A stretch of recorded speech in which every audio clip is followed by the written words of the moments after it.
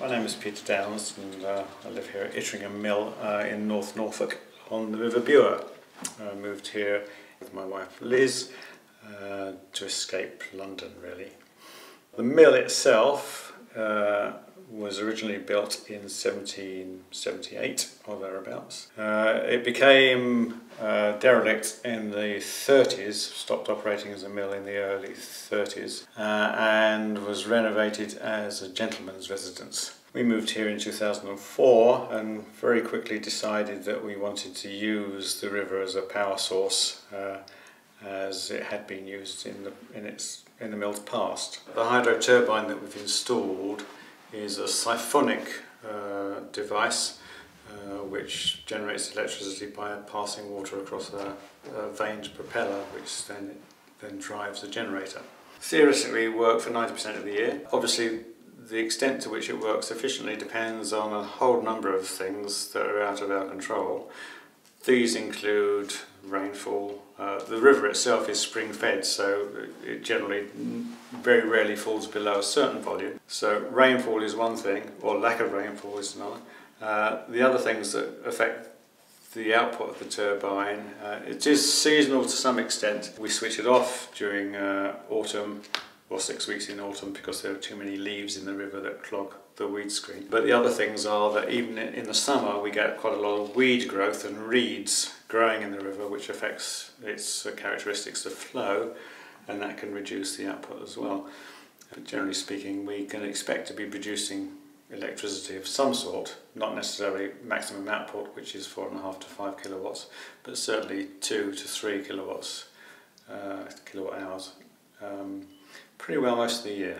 That was the first of our of our renewable energy um, projects uh, and it was Derwent Hydro who seeded the idea of using the electricity that we produce to run a heat pump to also take heat out of the river for heating the house. We're standing in the uh, on the main mill race part of the river uh, which leads up to the house and goes underneath the house and it's in this part of the river where we've installed the heat exchange loops that, uh, that feed our heat pump with, uh, with heat from the river. Uh, they're essentially eight loops, uh, each about 100 metres long, and they're embedded in the silt, so it's a, a classic indirect um, heat pump system. So uh, after a number of uh, attempts at fiddling with the various components and changing the various components, we decided that it would be much easier just to put heat exchange loops in the river. Uh, it works quite well now that it's been installed and the various flows and returns uh, pipework have been clipped to the walls so that they don't knock against the walls in times of flood and, and cause damage to the pipework essentially. In conjunction with the underfloor heating and the heat pump we also decided early on that we would put in some solar thermal panels mainly because we thought that as our greatest demand for hot water is in the summer season, uh, it would be a, a no-brainer to just put in solar thermal panels. In fact, it hasn't worked so well for us because most of our demand for hot water is in the morning uh, and of course we have to ensure that we have sufficient hot water for all our guests first thing in the morning. Um, the rainwater recycling system uh, basically is a computerized system that pumps water from that system up to a holding tank in the attic uh, and it's basically used currently for uh, flushing toilets really. Uh, one of the early things that we did uh, to improve the thermal efficiency of the building was to replace most of the windows on the front and side elevations of the house these were Georgian style sliding sash windows that were installed in 1938 and were very rattly and very drafty.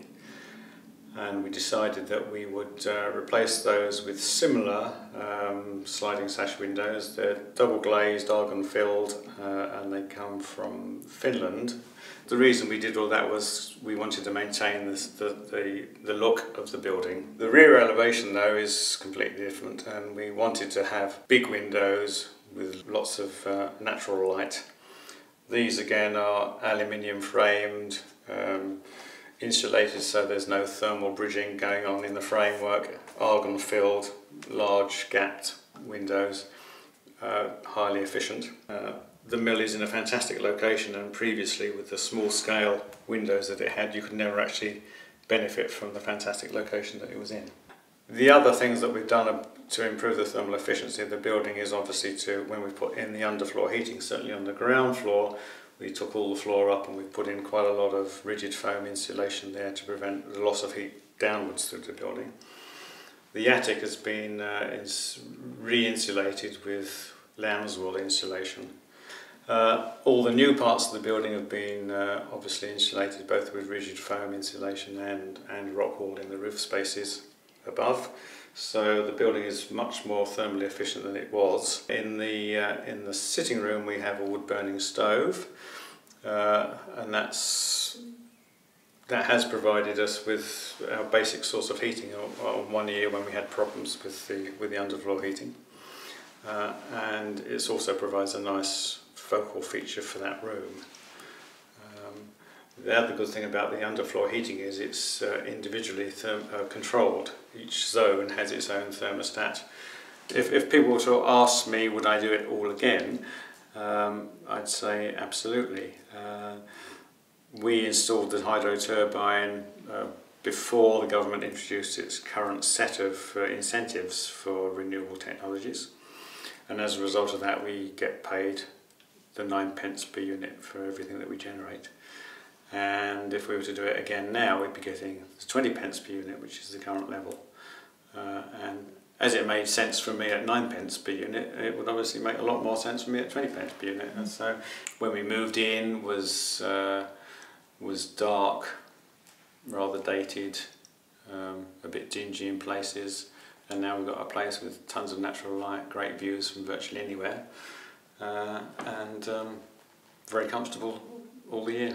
You know, I've been happy with the output. I've been happy that we've been able to build a house that's got virtually no energy costs associated with it. When we first moved here, I calculated that with the, well, the electricity that we were using and the oil that we were burning, we were contributing something like 23 to 24 tonnes of carbon dioxide per annum to the atmosphere.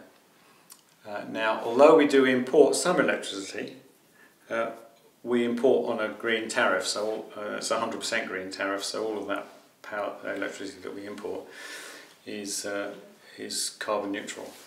Uh, and of course we export our own electricity, which is also carbon neutral as well. So uh, over the course of the year, I think that we probably don't generate any carbon dioxide at all.